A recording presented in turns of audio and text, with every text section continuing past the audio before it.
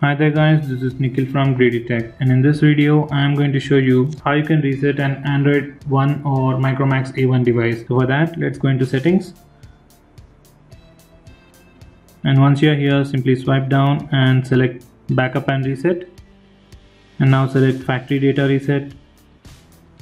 And now select reset phone. And finally press erase everything. Now the device will power off and it will reset your entire phone.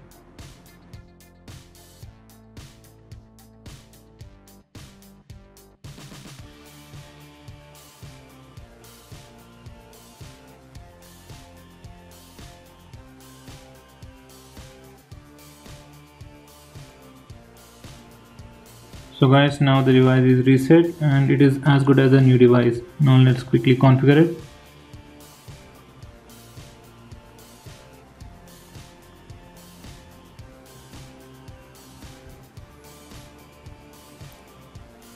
So that's pretty much it guys. Thanks for watching the video. If you found this video to be helpful, please hit the like button and share it with your friends. And please subscribe to my channel to see more videos just like this.